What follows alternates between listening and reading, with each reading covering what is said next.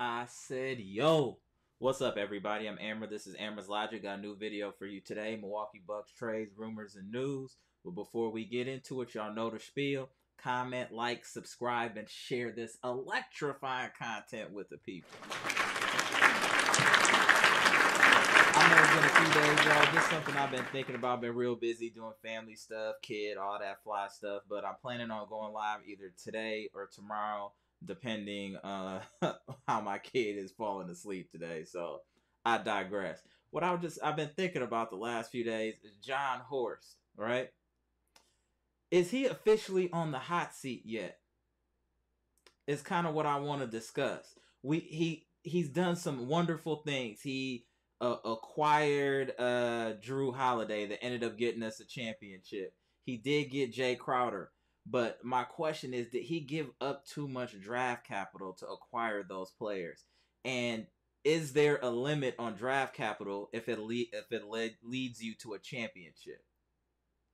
So wh- why do I say that? Because we gave up four first round draft picks for Jrue Holiday, but acquiring Jrue Holiday led to a championship. Understood. But could we have gotten Jrue for maybe three three first and like a second or something like that? Was it necessary to give up four draft picks, four first round draft picks to get Jrue Holiday? And as a fan, do you care if it led to a championship? Additionally, we gave up five second round picks to acquire Jae Crowder. I felt like that was overkill to get Jae Crowder, especially since we didn't play him. To give up five second round draft picks for a 30 year old plus player, I felt was crazy.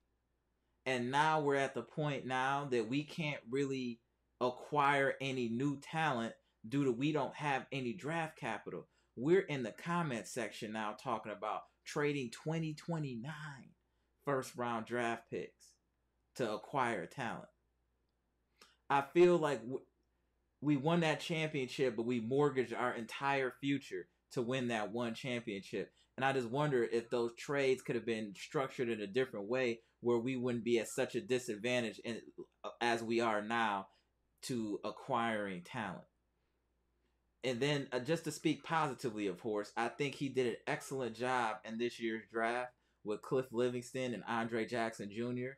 I do think they will come in and pay dividends immediately on this roster, especially after the loss of Wes Matthews. Shout out to Wes Matthews. We appreciate everything you've done in Milwaukee. Hard nosed player, played at Marquette, and we we wish you the uh, the best uh, in Atlanta. But uh, we need to move forward with this youth movement, and I think with our lack of draft capital, that we have no we have no choice. So, what I what I want to talk to Bucks fans about is if the roster stays as it is and we don't make any type of blockbuster deal, is this roster as it's currently constructed good enough to win a championship? And be honest with yourselves when you're you're determining this.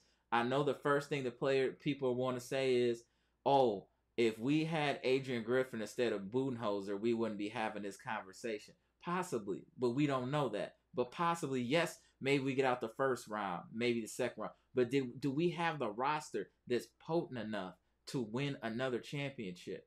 Why do I say that? We are missing creators. We we only have maybe three people on our roster that can create their own shot. Let's be real. That will be Jrue, Khris, and Giannis. We, we and, and then Bobby P can create his own shot. We have no guard, no shooting guard on our roster that's capable of creating their own shot. They're all catch and shoot players, right? And then we don't really have a backup point guard besides Wigginton.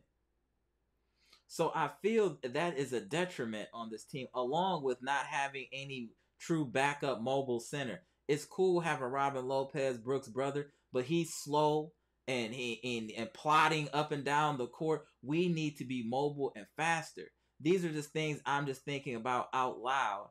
Uh, of concerns that I have with the Bucks roster and how much of our draft capital that we've given up the last couple of years where it puts us where we can't really do too much.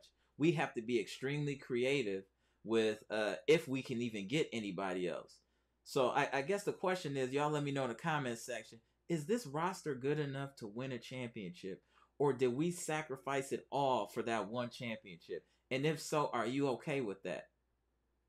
So that that's what I want to talk about in the next live. Y'all let me know in the comment section. Please stay tuned for updates on when we go on live to discuss this. I just wanted to touch base with Bucks Nation and see what y'all think about Horst and where he is right now. Is he in the hot seat? Do you give him another year? Or do you want immediate changes now as far as on this roster, or at least looking to make uh, some significant changes of getting Giannis a true number two? because I've said it multiple times, as much as I like Middleton and Jrue, they're both threes. They're not option two players. So y'all let me know in the comment section. That's what we talking about next. I'm Amara. This is Amara's Logic. Milwaukee Bucks trades, rumors, and news. Where we just just giving you a brief touch base of what we be talking about the next live about Jon Horst. Is he on the hot seat? Has he done enough? Did he give up too much draft capital for us to win that one championship? Can we make additional moves to make this roster better? Y'all let me know what y'all think in the comment section. Comment, like, subscribe, and share the electrifying content with the people. Gone.